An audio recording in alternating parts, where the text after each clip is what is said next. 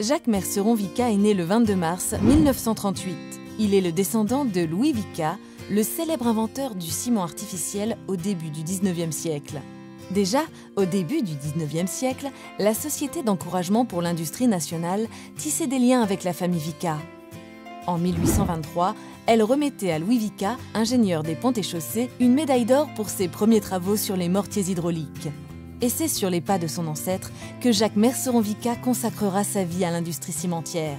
Jeune diplômé de l'ESTP en 1962, il intègre le groupe familial Vicat comme ingénieur où il apprend le métier de cimentier aux côtés de son père, André Merceron-Vicat.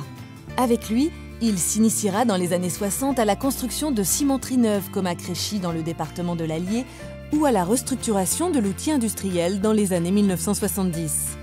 Directeur général de Vica de 1973 à 1984, il participera à plusieurs acquisitions majeures, notamment aux États-Unis avec le rachat de la cimenterie de Raglan en 1974 ou de Lebec en Californie en 1987. Vica sera le premier cimentier européen à s'implanter aux États-Unis. Président directeur général puis président du groupe entre 1984 et 2014, il donnera à Vica sa dimension internationale en bâtissant un outil industriel puissant et performant, judicieusement implanté aujourd'hui sur quatre continents et dans 11 pays. Il nourrit son action des valeurs managériales que lui ont transmises les cinq générations d'inventeurs ou de dirigeants qui l'ont précédé. Fondé il y a 160 ans avec la construction d'une première cimenterie au Genevré de Vif près de Grenoble, le groupe Vica réalise aujourd'hui un chiffre d'affaires de près de 2,5 milliards d'euros et emploie 8000 collaborateurs à travers le monde. Officier de la Légion d'honneur, Jacques Merceron-Vicat est souvent cité comme un des grands capitaines d'industrie du secteur cimentier en France. Il est aujourd'hui président d'honneur du groupe après avoir organisé et réalisé la transmission du flambeau à son gendre, Guy Sidos.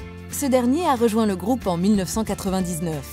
Entreprise de savoir-faire et de passion, le groupe Vica se distingue par ses valeurs d'ancrage territorial, son attachement à la promotion de ses collaborateurs et son soin porté à l'environnement.